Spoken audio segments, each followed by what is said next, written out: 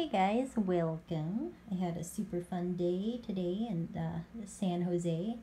Um, got some stuff for the fish room. Gonna make a couple videos for you guys. Uh, one of the things that I bought is oh my goodness, we went to Target. I got a bunch of school supplies for my kids, things like that.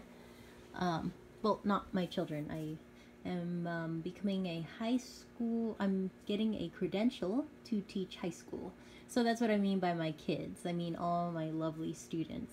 And um, yeah, got a bunch of stuff for them. Uh, anyway, what else I got? I got some baking soda.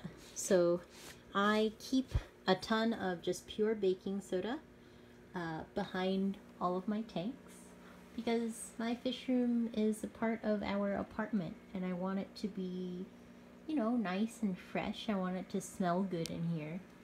So um, here's an old one. They didn't have these cool flow-through ones, which are the ones I prefer. So you can see like a bunch more of the baking soda is exposed through this thing. But uh, this Target didn't have it. So the cool thing about these guys, so um, I'm a little late changing it. Um, the cool thing about this is that whenever they are done being used for um, air freshening purposes, then I can use them in my brine shrimp uh, hatchery. So I have a video on that, how I hatch my brine shrimp.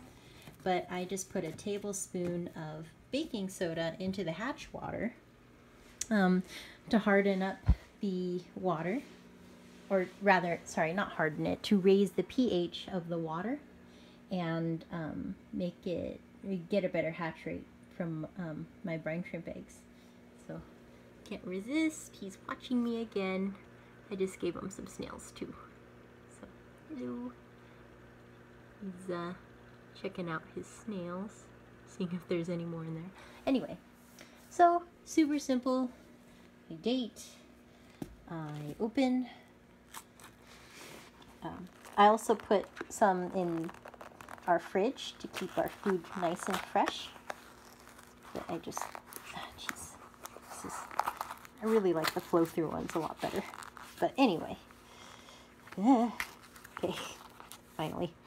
So I open these up and I just put, oh man.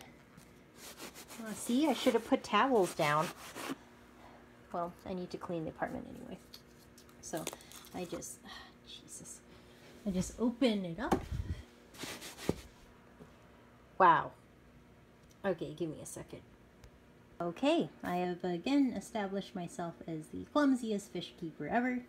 So here they are, all nice and opened up. Ah. Okay. So I'm gonna put one in here with the white worms.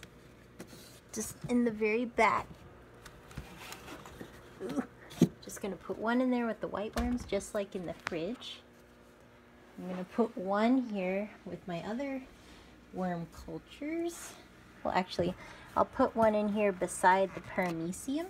That's where the paramecium cultures are going to go after I refresh them. I'll put one next to my grindals. Okay. Uh, maybe I won't. Hmm, okay, I'll decide in a second. I'm going to put one in the back. Uh, put one in the back corner I don't really, okay. Let's see if it'll, okay, hold on. Right, right. Okay, one in the back corner. One under my betta shelves. In the back. Hiding in there. Soaking up all the smells. And I'll put one back here. See, I drew that, or painted it rather. Isn't that nice? Okay, I'm gonna hide it back here. Sneaky, sneaky.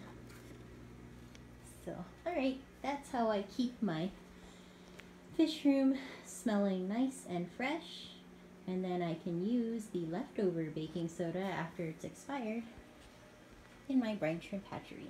So check out that video on how I do my super simple uh, brine shrimp hatching.